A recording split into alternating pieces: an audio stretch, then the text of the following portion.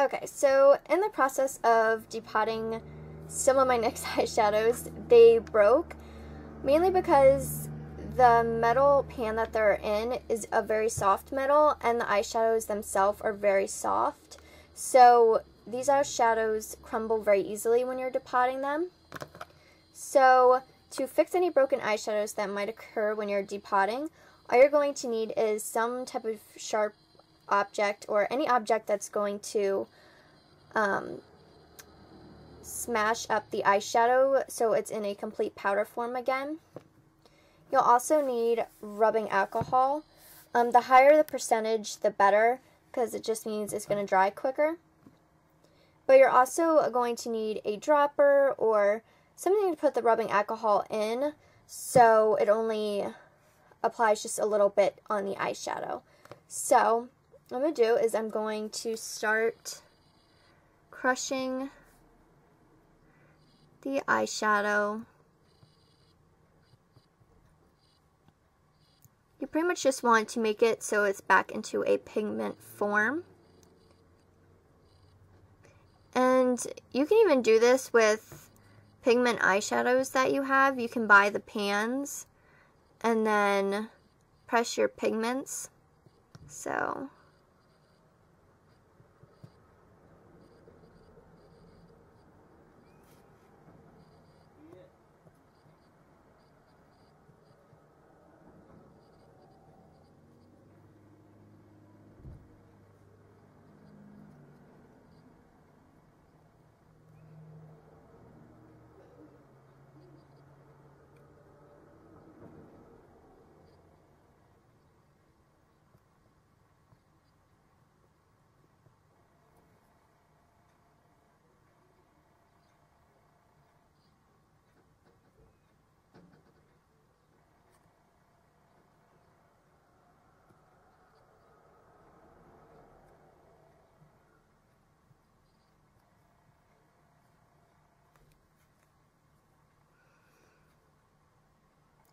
Okay.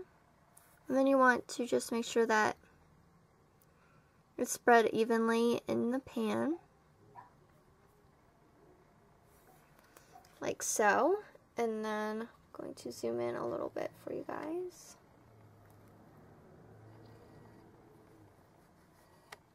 Okay, so it's going to look like this. And then you're just going to take your rubbing alcohol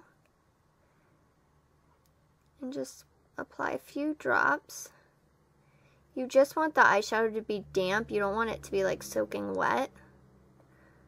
Um, and then what you're going to do is just take your finger and start pressing it down.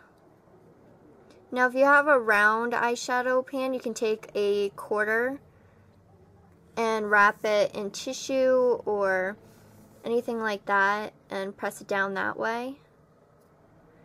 But for NYX eyeshadows, since they're square, they're a little bit harder.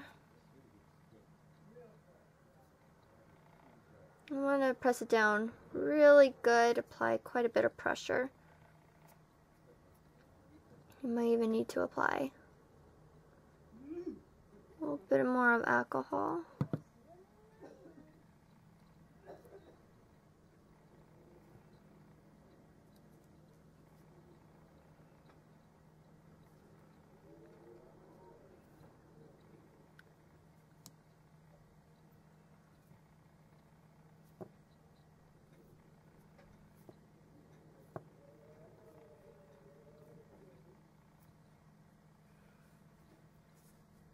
And then there you have your finished eyeshadow. And then you just want to let it sit out and air dry.